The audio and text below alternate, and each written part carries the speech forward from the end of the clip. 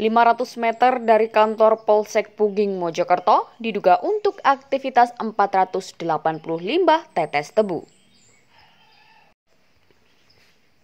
Pintarnya para pelaku kasus tindak pidana atau kejahatan 363 yang dilakukan oleh supir tangki tetes dan 480 KUHP selalu pengusaha tetes tebu di wilayah hukum Polres Mojokerto, Jawa Timur nampaknya masih menjamur. Hal ini diketahui saat laporan informasi dari warga ditindaklanjuti oleh tim 9 generasi muda Indonesia Cerdas Anti Korupsi Gimcak.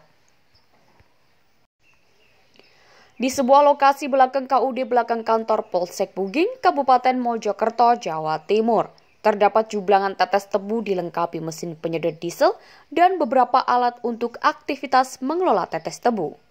Dugaan hasil tindak kejahatan oleh supir dan pengusaha nakal.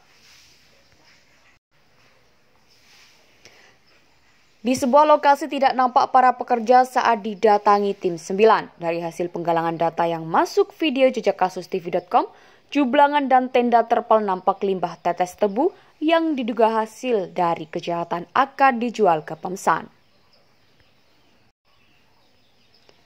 Sebelumnya, salah satu sumber RS warga Mojokerto menerangkan gudang limbah tetes tebu di Puging milik saudara Sinyo.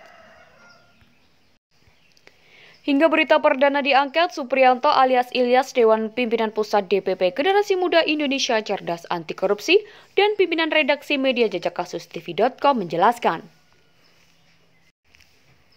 Barang siapa mengambil barang sesuatu yang seluruhnya atau sebagian kepunyaan orang lain dengan maksud untuk dimiliki secara melawan hukum, diancam karena pencurian dengan pidana penjara paling lama 5 tahun atau denda paling banyak 60 juta rupiah.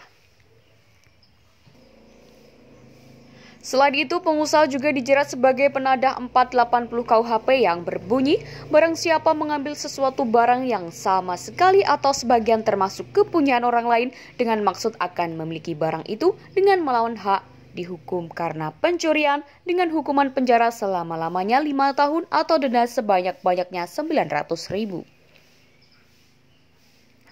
Pria Sakti, jejak kasus TV.com Mojokerto, melaporkan.